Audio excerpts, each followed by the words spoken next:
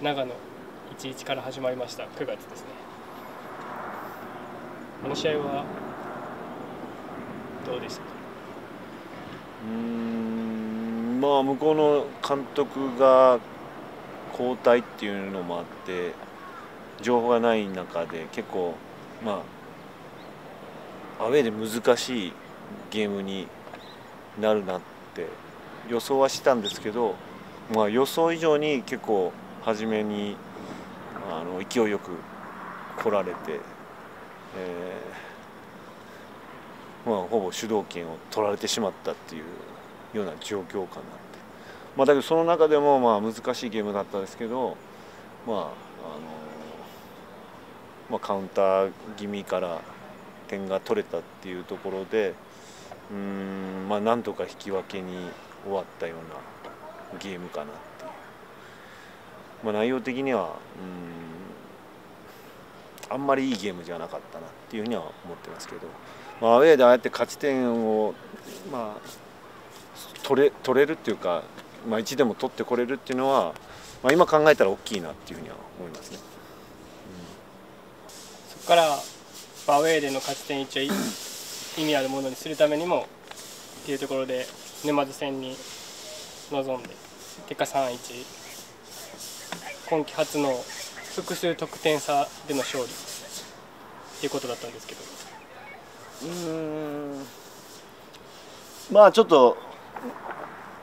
なんていうんですかね、まあ、チーム的にちょっとあまり前節がよく、まあ、流れが良くなかったんでちょっとまあ締め直したっていうか。まあそこら辺はちょっとゲームに反映したかなっていう、まあ、相手がまたこうボールをしっかりつないでくれる形のチームだったんで、まあ、それに対してのこう前からのプレッシングがうまくはまったゲームかなっていうふうにはうん思いますね。まあ、だから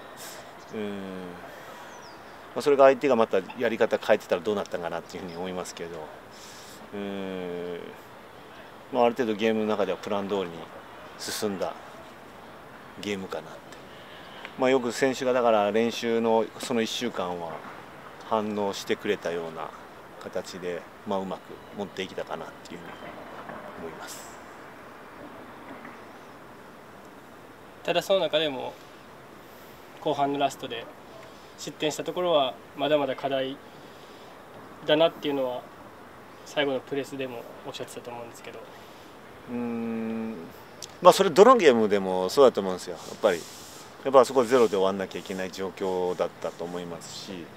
うんまあ相手がどうしてもやっぱり勝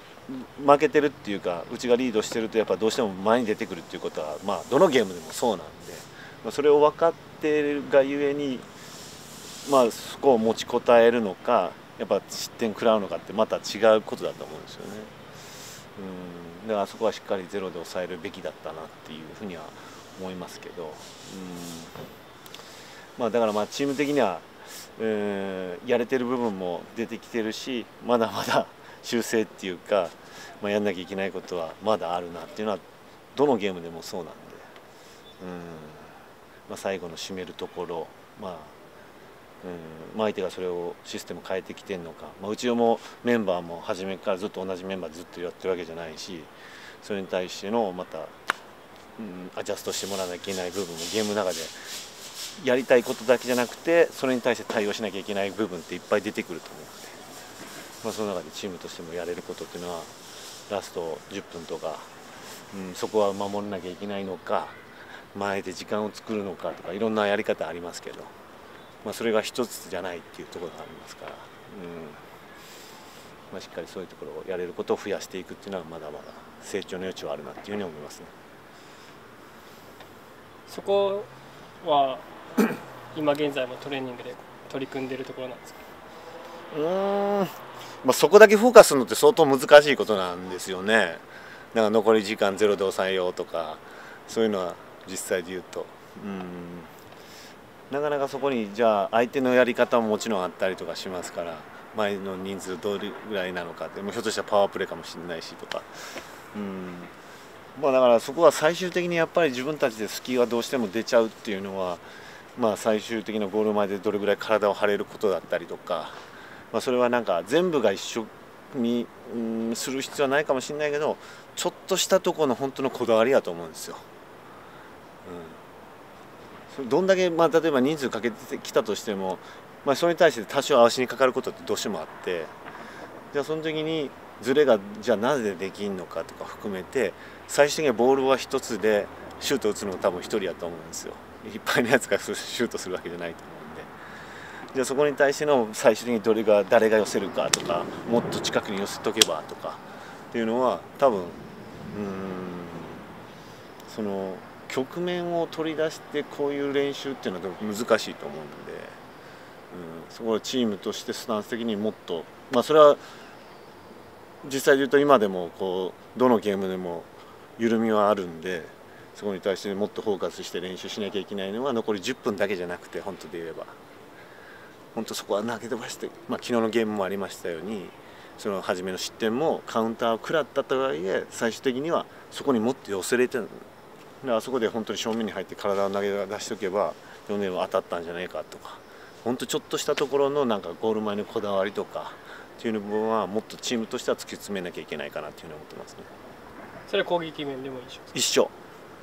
らそれが出てくる好きやと思うんですよ。相手が出してくれる。逆に言えば。避けるなとか遠いな。と思ってるんだったらシュートは打ってるじゃないですか。だからそういう部分ではもっともっとそのゴール前のこだわりっていうのは両方持たなきゃいけないなっていうふうには思います。もっと足振っていこうっていうのはそういうメッセージってことですか？もうもちろんありますし、はい、やっぱ打たなきゃ入んないと思うんで、はい、ゴールには、はい、何のためにやってんのかなっていう、はい、でも特にゴール前に入ってきたらやっぱり自分がポジション取るっていうのはシュートを打てるポジションに多分意識するのかただボールをもらってパスだけを意識するのかって全然違うと思うんですよ。だから普段やってるポジションっていうかゴールがない局面よりもゴールがあれば余計明確にもう少しなるかなってじゃあただ足振れっていうのはその感覚的にシュートをどんどん打っていけっていうよりは足振るためにシュートを打つためにどういう準備するかっていうところも含めて、まあ、そうですね。はい、この昨日のゲームだとちょっと若干ちょっとラインが下がったりするようなスカウティングがあったんで、まあ、もう少しその細かく全部が崩してからシュートっていうよりももう少し相手を引っ張り出したりとかするためにもシュートをもうちょっと打てたかなっていうふうには思いますし。まあ、その局面はちょっと少なかったですけどね、うん、そういうこうもっと全員がゴールを意識するような形に持っていけたらもう少しチームが躍動するんじゃないかなっていうふうに思ってます。その次が琉球戦で後期初のアウェーの勝ち点3になったんですけどあのゲームはどうでしたか？3対2で。まあ、こちらとしては、まあ、もう少し前半で決着つけたかったなっていうゲームで臨んだんで、まあ、若干ちょっと物足りなさは実際ハーフタイムにはそういう話はしました、はいまあ、それで、まあ、後半頭に、まあ、2点取れてうまく逃げ切れた形ですけど、まあ、また終盤には点を取られてるっていう状況なんで。まあ、まだやっぱりチーム全体として90分間やっぱどうしても隙を与えるっていうことはまだまだたくさんあるっていうところなんでうんまあそこをもう一回突き詰めなきゃいけないことだし、まあ、だけどなんかこうこの間のゲームで言えば若干やっぱりねこのやっぱ環境っていうか、まあ、湿度はやっぱりどうしても高かったのかな。途中で選手が足を止まりそうななるとかっていうのはいつもよりちょっと多かったかなっていうふうにはちょっと思ってて。だから今どうしてもこうシーズン通してきていろんなまあもちろん環境ももちろん含めてねアウェー行ったらそうだし違う環境でやんなきゃいけないしであとはシーズン通して、まあ、どのチームもそうだけどあの疲労感とか疲れとかねそういうシーズン通して戦ってるとどうしてもそういう時期っていうのはあるのかなって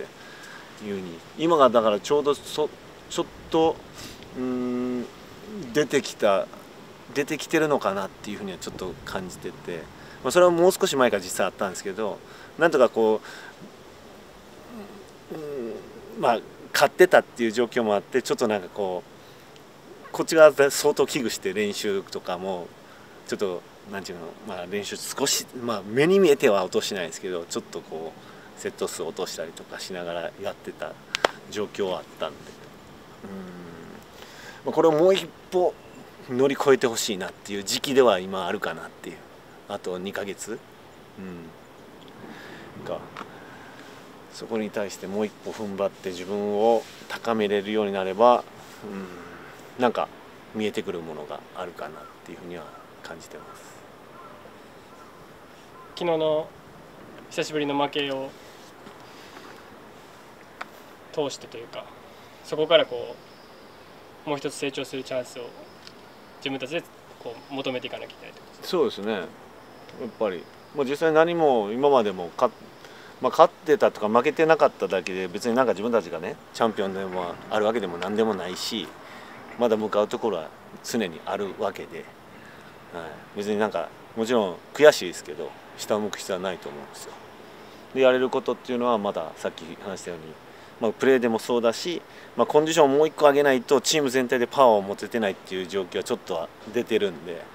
全員がもう少しコンディションを良くして上がっていくっていうイメージを持たないと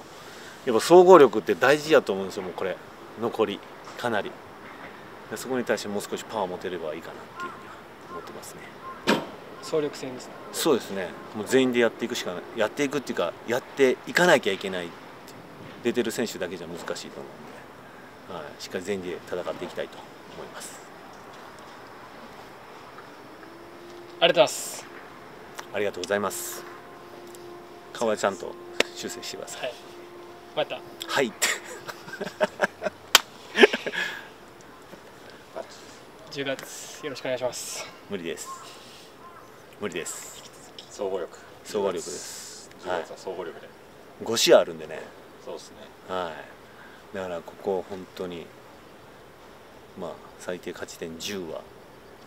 まあどこに勝つどこに負けるとかは計算しないですけど、はい。まあ、試合数かける 2, 2勝ち点2がまあひ昇格ラインだっていう話なんでね、マルさんのいつも言う全員でってやつですね。うん、もう全員ですよだからそれは現場だけじゃないと思うんですよ。本当に。関わる人。それはまあちょっと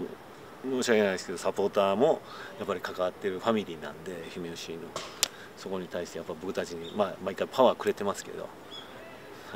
僕らも与えますしもっと与えてもらいたいし。スタッフもそうだし姫吉のね。現場だけじゃなくて。事務所事務局事務局の方もそうだしね、そういうところで全員が一つになってやっぱり。その役割にみんなが徹していくと自然的にチームとしてはパワーを持っていけるかなっていうふうには思う。ので、はい、チームが一つになるっていうか、はい、もちろんそうだしなんかもっと自分のチームだっていう意識も欲しいんですよ。なんかか関わってないって言ったら大げさかもしれないけどなんかこう出てる人だけのチームでもないしもう関わってる人は私のチームだっていうっていう感覚を持ってもらえるとなんかもう少しうん、すまあ、それが一つになることだと思うんで、ね。うん、そういう意識を全員が持ってやっていきたいと思います。はい、ありがとうございます、ありがとうございます、ありがとうございます。帰りの便もあるとのことなのではい、終わらせていただきはい。ます、、すみません。お。疲れ様です。3分って言ったのに。はい。15これ、残ってるでみんな。